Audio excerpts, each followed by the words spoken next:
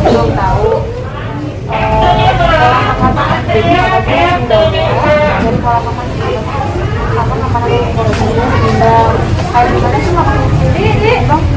Tidak tahu pak. Kenapa? Kayak apa ya? Mungkin kayak tempat yang kayak di kayak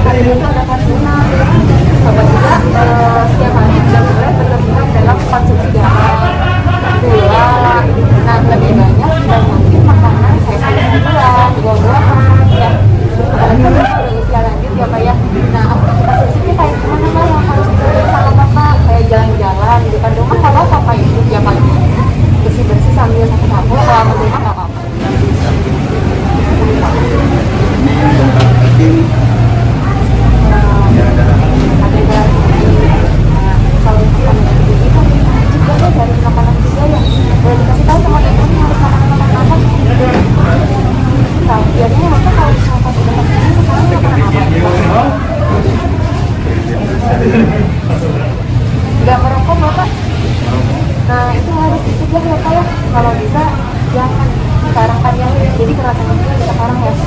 Kalau bisa kalau awal-awal kurangin tapi lama kelamaan berarti kalau ya kalau kan harus konsumsi obat-obatan dan yang lain alkohol dan minuman nggak ada Mungkin itu ya pak ya jadi kebiasaan bapak merokok harus dikurangin ya ini masih merokok nggak sampai sekarang ya masih kok jangan ya kalau udah kita kurangi terlebih dahulu ya pak ya mungkin tadi kalau makan makanan itu yang tadi yang sebutin ya pak ya buat bisa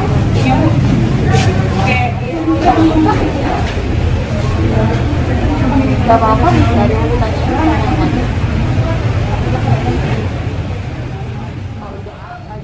jadi kami dari Dokter Muda Fakultas Kedokteran Unisba melakukan penyuluhan mengurangi perilaku hidup bersih dan sehat. Nah, apalagi kan sekarang lagi masa pandemi ya, perilaku hidup bersih dan sehat itu sangat dibutuhkan dan harus dilakukan oleh kita semua.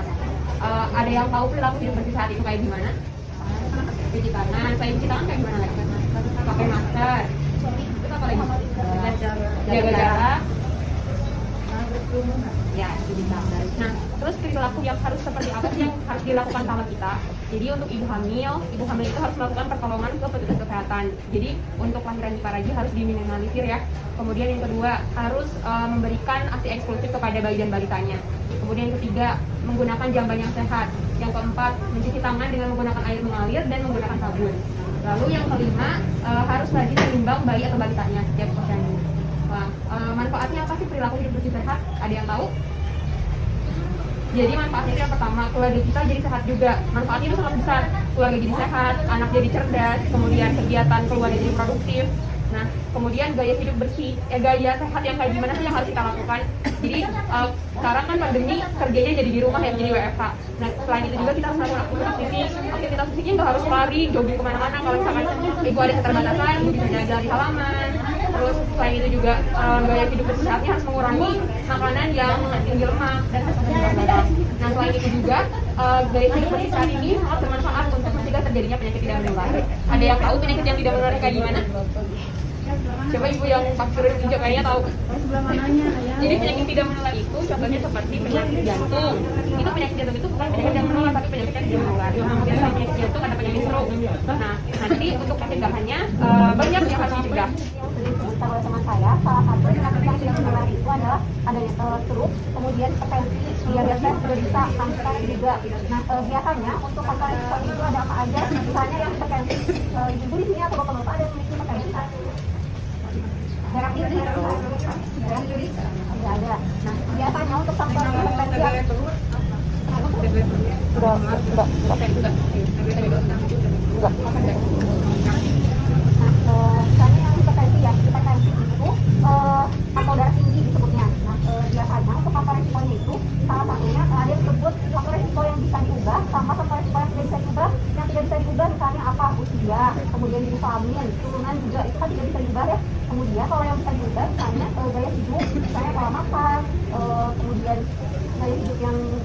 dari pola makannya atau eh, misalnya kegemukan atau obesitas itu bisa menjadi salah satu faktor risiko gaya yang bisa dimodifikasi atau diubah. Nah, itu kan eh, faktor resiko itu eh, bisa diubah ya. Jadi kita bisa merubah gaya hidup kita dengan eh, seperti tadi yang saya jelaskan, misalnya eh, bersih dan sehat, dari pola makan, misalnya mengurangi garam, mengurangi gula, mengurangi daging dan lemak biasanya. Mulai itu bisa dari itu hari kita untuk makan. Kemudian kalau garam itu biasanya eh, disarankan itu